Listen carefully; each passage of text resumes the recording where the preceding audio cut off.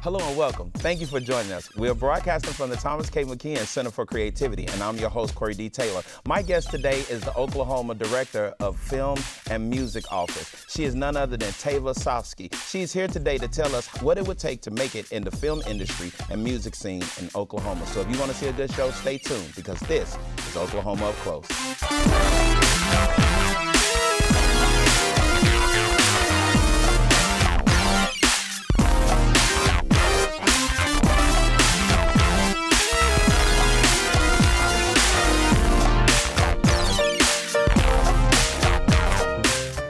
Hello and welcome back. And we are here with Oklahoma Film and Music Office Director, Tava Sofsky. How are you today? I'm great this morning. How are you? I'm wonderful. Well, I'm glad that you're here. As we were talking before we started the show, it's been a long road of trying to get you here, and I understand that you're totally busy. So, what are some of the things that you have been up to? Well, just recently, I just uh, returned from Toronto um, in Canada. We went to support Sterlin Harjo's film. He wrote and directed the film called Mekko, which uh, filmed here in Tulsa, entirely in Tulsa, and utilized our rebate program that the state um, offers and that our office administers. So we went and celebrated Mekko. We brought together a lot of industry delegates to meet him and, and the other uh, cast and crew. So that was a huge success. And then also, I just came back from Nashville, Tennessee. So we went to uh, our first, other than South by Southwest, we went to our first out of state music conference. So that's interesting because when people typically hear about the Oklahoma um, um, film and music division, they only look at it as like local, you know, mm-hmm. like statewide. But here it is. You all went all the way to Toronto to celebrate a filmmaker that's from Oklahoma. And I, I believe our audience, our viewers will want to know because that's real interesting. Mm-hmm. And so when you do that, is that all generated funding for you all to do that through state? How is that funding generated for you all to travel around the country and support people that are from Oklahoma doing those type of things? That's a great question. We have to be very uh, strategic in our spending because we are state funded um, government agency. Uh, so you know where that money comes from.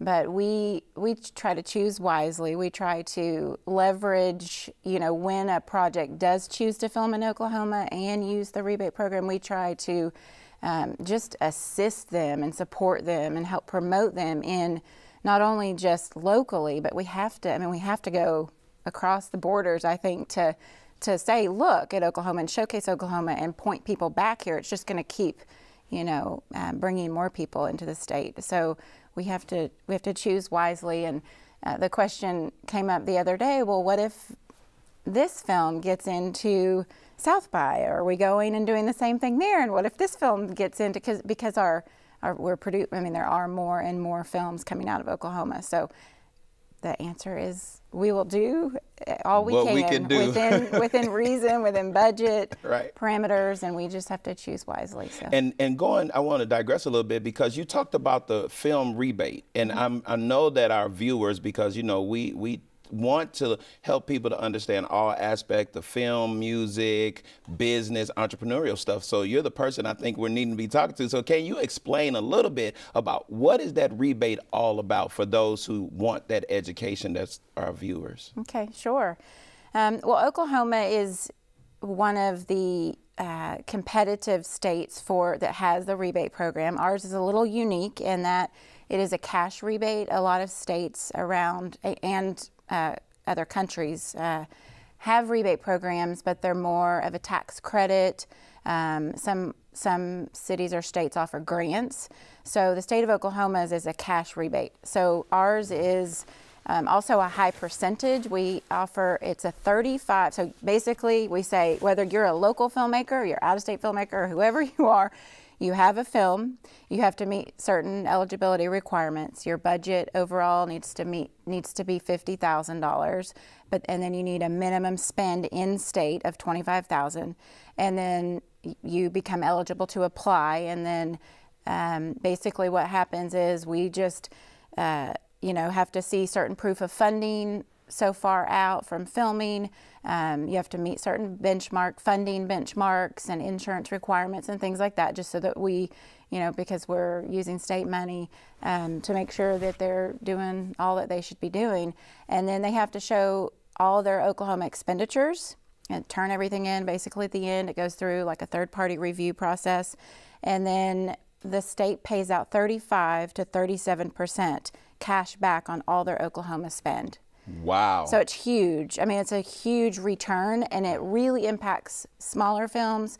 Um, we have seen a lot of independent films. We obviously we've had August Osage County. They correct. They filmed in Osage Hills, and that was one of the larger ones. We have another one that's probably about the same size that's going to be filming in the spring of 2016, and so just larger budget. You know, um, um, so which hopefully means more cast and crew locally would be hired. But uh, so yeah, so I mean it's it's a very competitive. The one thing that Oklahoma still has room to grow in is our cap. So we have we can only spend or pay out five million per fiscal year. So a lot of other states they don't they just say come on everybody and they right. just there's there's no limit but if you read the trades and if you read what's going on in the industry, there's a lot of people that are that are um, legislators that are looking at that and you know asking is that do we need to just open it all up? So so we're I think we're being smart and strategic to grow kind of slowly. Um, we're a little over two crews deep meaning like right now we've got two films in production mm-hmm. and everybody seems happy right right and a lot of people are working yes. and so um, we're just continuing to grow our database of crew and so that we can accommodate more and more productions. Now, that's interesting because I was at a film um, workshop and I had the opportunity to hear Sterlin talk and he has a vision I know along with a lot of other filmmakers to like let's woo people from these other film markets and grow Oklahoma as a huge film market for people to come similar to what they're doing in Georgia right now. Mm-hmm. You know, mm-hmm. studios are being built there, films are being shot there and the mm-hmm. thing that's awesome about you being here is that I have a passion for filmmaking. I make documentaries and things of that nature. So to hear you say these things is very mm-hmm. exciting because a lot of times when people think about film, the only thing they think about are actors, the directors, mm-hmm. sometimes the producers, but they don't think about all of the science and the logistics right. that go on behind the scenes. And I'm so glad you're here mm-hmm. to share. Mm-hmm. So, with that being said, you have a history in film. Mm-hmm. And so, I want you to share a little bit about that because I know you were um, production manager in Mexico for Fast and Furious. So, mm-hmm. talk to us a little bit about your experience. With that particular with film? with anything, with all of it. Yeah. Well, I have to I have to rewind a little bit just to say that you know I'm born and raised here, love mm-hmm. from Ada, Oklahoma, and uh, graduated from OU and just went to LA. Didn't know a soul. And the thing that I love uh, about the film industry, I didn't know what I wanted to do, so I started as a PA, and that's what I would tell anybody. You know, you don't know what you want to do, but you think you want to get in the film mm-hmm. industry. Mm-hmm. Just start as a PA. Just get on a production uh, work for free if you have to. Just get on a set and see. As a PA, you just get to see everything, exactly, and then you can sort of migrate to what you know, camera or maybe it's my husband uh, started he started as an actor and then or an extra sorry an extra and then kind of had a few speaking lines. And he loved the behind the scenes so much. Like they had a huge scene on a film called rosewood in florida where they had thousands of extras and they like pulled him just to help wrangle extras. And that was when he shifted to behind the scenes. It was like i love all this behind the scenes. Forget being on camera. Mm. and so he became a second ad in the industry just by just by trying something new. So for me, I started as a PA and I loved a little, I loved all of it. Mm-hmm. So that's why I continue, that's why I started working as a producer's assistant. And then you really get to see the whole, the whole big picture of the film. Um, you get to hear and see the communication between the actors, the studio, the directors, the writers, all your key department heads. And so I loved all of it. So, as a production supervisor, associate producer, and kind of that path that I took, um, you are that go between. You're overseeing kind of all the department heads. And so, um, just many years of that led to uh, well, you brought up Fast and Furious. I mean, that was that was uh, us taking a a small unit to Mexico which a lot of people probably don't even realize that we went to Mexico. But right. I mean, for for that, but it was. Uh, I mean, it was crazy. It was fun. It was. It was fast but when you say a small unit, what is a small unit, though? Really? Well, there's always a main unit, and then there's like a second unit, yes. and so it was a more of a smaller second unit because it's it's just expensive to travel crew, and so oh gosh, I mean, we pr- probably had 30 and that's my point. People. That's my point. I mean, you still have to have the hair, the makeup that you. Yeah. Right. And that's my point because when you say small unit, I'm thinking people are going to be like, um, especially some local filmmakers who haven't had that broad experience, mm-hmm. they're going to think, oh, that's like five people. Mm-hmm. No, that's mm-hmm. 30 people. That's like a full staff because mm-hmm. you have to replicate what you're doing on the main crew, but in a mm-hmm. condensed version on location somewhere. And that's right. so awesome. So when you got that, did you get that through like you just resume building, connections? How did you get into the Fast and Furious type situation? Um, well, how I got just working on on larger films was, I, I, mean, it started just sending resumes. Honestly, I sent when I was a senior in high school. I mean, sorry, college. When I was a senior in college, I I sent hundreds of resumes, and at the time I was sending, I think, like three quarter inch tapes, you know, of like a little, a little uh, digital resume, if you will, um, because I had done some internships and I had some just video production, editing experience, and little this, little that, and so I just follow I just, my spring break in my senior year in college i just followed up with all those people.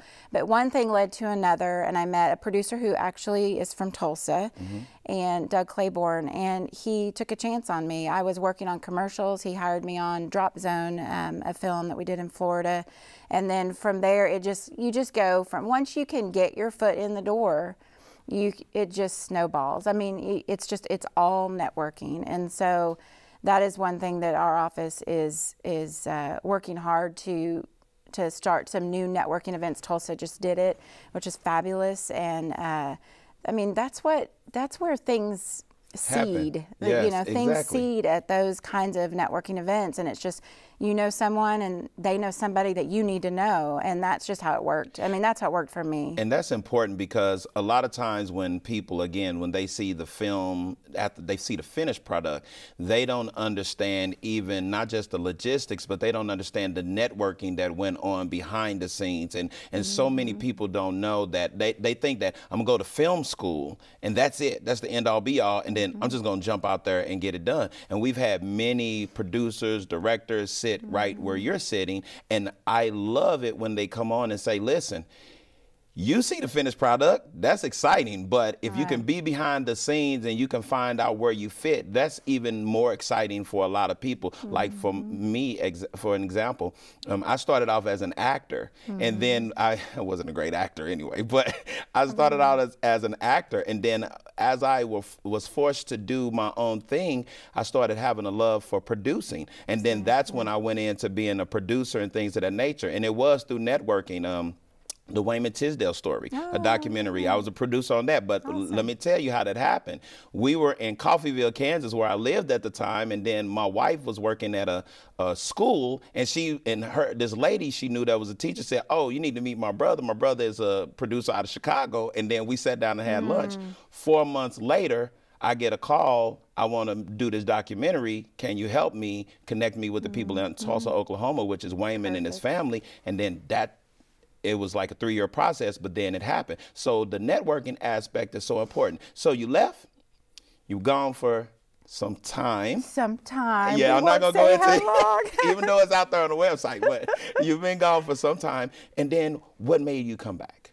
We have a family. My husband and I've got we have three children, and just wanting um, just a just a normal. I wouldn't say slow because I don't think Oklahoma is a slow pace, but just a just a, a nice balanced you know pace of life and being closer to family here and I will be honest and say, you know, after 10 years of being out in LA, I mean, and I wasn't even in LA. I was traveling all over the world, you know. So it's it's tiring.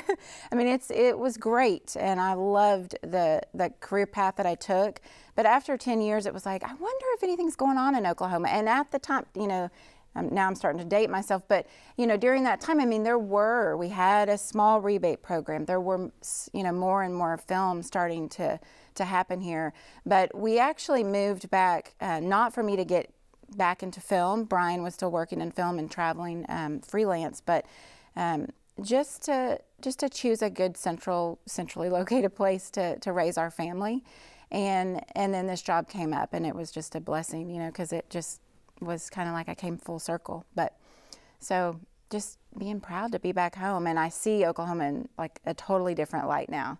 You, you know, know, having been away and traveled and worked and seen so many places and. Mm-hmm so uh, it's it's hard when young filmmakers, I mean, or musicians for that matter, because there's a lot that, as you know, they even musicians they kind of make it big and then they leave Oklahoma, and I think everybody's got to do what they what they need to do, what's right for them or their family, um, because I don't think I would be where I am if I didn't have that experience away. Correct. But there are people that need to stay in Oklahoma. We want people to to stay and help us help us grow this. I mean, it's like just brick by brick, and we need as many people that believe you know believe in Oklahoma and um, the industries here to to keep building it. Do you do any film stuff outside of um, what you're doing currently with the um, film office and music? Do well, you get to do projects still?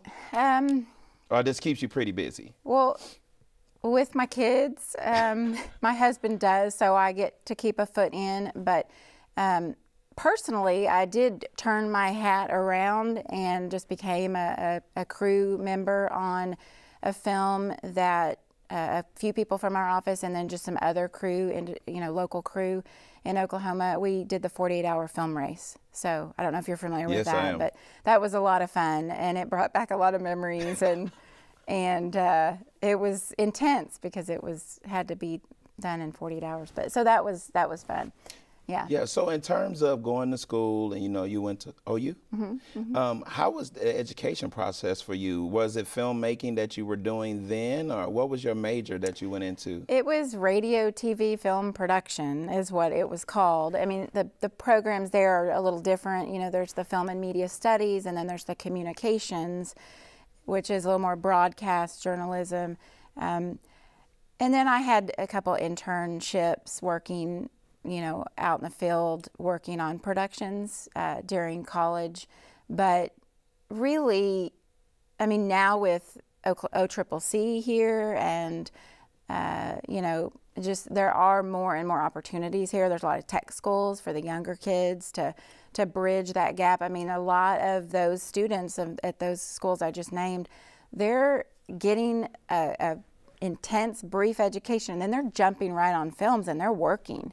So it's I think it's proven that you can stay and and work. You don't have to go to LA. When you go to LA or Nashville, if you're a musician, I mean, you know, you're one of a million. And here, what we're seeing and what's kind of cool is that our crew they might start as a production assistant and then move to production coordinator rather quickly and then move on up. I mean, we've I've just literally witnessed in the past six months lo- two location managers moving up, one moving wow. into a pr- production manager producing role. Uh, from one film to the next over just you know I think that says a lot for Oklahoma. You you just I mean and just with our work ethic with the people that come out of Oklahoma, they they've got what it takes to to climb the ladder. And I think it would take a lot longer in LA for some to do that. So, um, yeah. And so I'm hearing you express yeah. those same sentiments. And I believe that's the thing because when people meet me, when I travel around the country, they were like, hey, if you made it there, you can go anywhere because yeah. you do learn how to be um, the School of Hard Knocks, you know, we don't have all of the stuff that's read, um, available to us to want if we're trying to be creative. So we have mm-hmm. to create things, right. but in turn we network mm-hmm. and then we grow and things of that nature. So what is your vision now since you've taken over the this Office of Film and Music? What is your vision? Well, I think to continue growing the industries, and then I had to ask myself, I mean, growing the industries and promoting and supporting the industries, I had to ask myself, you know, that's our mission statement. what does that mean, really? Correct. And so, so I think we've really been, um, just really been talking to a lot of, um, of our crew, of uh, talking to musicians and asking them, you know, what are some areas that they see that need to be strengthened? They're the ones we're trying to help. So, trying to hear people out, and one of those is more networking opportunities um, and just in promoting musicians. I mean, they, they need connectivity, is really one of the huge things that our office does, is just connecting the right people. Like, I can't personally recommend somebody for a film, but I can connect them with our production guide or our music guide or our locations guide, and they can find the right location for their film. They can find the right music composer. I just had a conversation yesterday with a uh, a producer and director that just filmed here last fall. We connected him with an Oklahoma music composer who works in LA and here. He's a dual resident, and he scored their film, and he is he's like singing this guy's praises. Um, and he's just a guy, I mean, he's a guy from Oklahoma City that moved to LA and he's working and he evidently scored this film. I haven't heard it yet, but um, you know, it's just connecting people and and providing those opportunities for the crew, and um, also I think connecting with like the schools too. And I think that's really important to start them you know, to connect with them young when they're younger so that they kind of know what to look forward to. They can, you know, they can see what's going on ahead of them and like kind of have set goals to be a part of that one day. And that's interesting that you said that about here is this composer that's, you know, two residents. What what I find interesting and what's awesome about this show, and this is why the show was created, because there are so many people. You know, you know about the Miranda Lamberts, the Blake mm-hmm. Sheltons, the Carrie Underwoods, you know, and you know about the um, the Thomas Blake Nelsons. You know all about these people, mm-hmm. but there are so many people that are behind the scenes that are doing stuff on national and international right. levels that are from Oklahoma. Mm-hmm. I was on the mm-hmm. shoot of a commercial and I was telling people about this show, and then they was like, "Well, Oklahoma, like."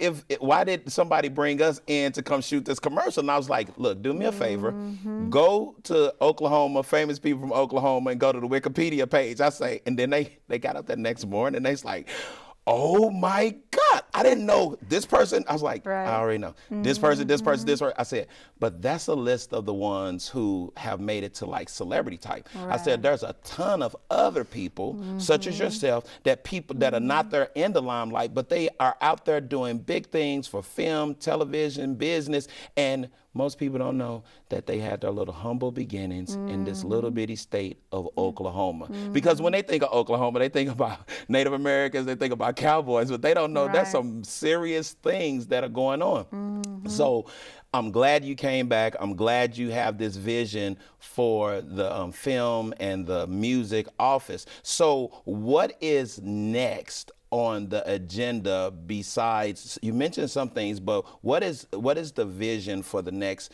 maybe five years if you can tell me that really in a nutshell like where do you see the biggest thing that's coming next for you all? Sure sure. Um, well i'm going to talk about a couple things that we're currently kind of working on because mm-hmm. those are going to i think evolve and grow into you know accomplishing those longer term goals um, but we, one, I'm going to talk about film and TV and then music, but film and television, we are in the process of recruiting, really working hard to recruit a television series to the state of Oklahoma. Pick wherever you want to set up shop, you know, and we'll, we'll support you. Um, we are uh, in pretty serious talks about a someone in uh, Oklahoma City that wants to build a large soundstage which can accommodate larger productions and TV series. They need they need two big stages, a, a television series to build a set, have a swing set go back and forth, you know, while they're on practice shooting practical locations. They need they need a large stage, and we've got stages, and we don't want to take business away from the smaller stages because those are already you know being utilized.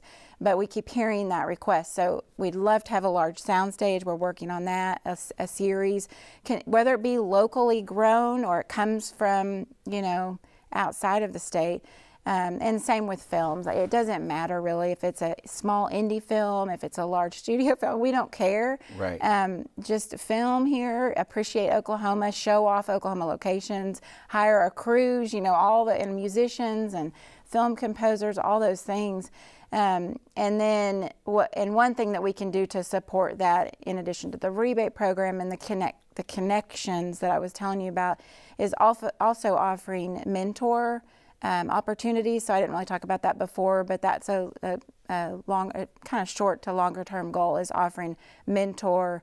Uh, type opportunities for people so that like you're you're talking about some of these behind the scenes people that nobody knows about giving them a voice to talk to our younger generations um, you know maybe you know maybe bringing in a big name to also work you know to talk to those people we're actually um, we are actually starting that process next year. There's a songwriting festival, so now I'll jump to music. It's um, all good. But yeah, uh, there's going to be a songwriting uh, conference festival that's going to be bringing in some big players, some songwriters and um, label representatives from LA and Nashville.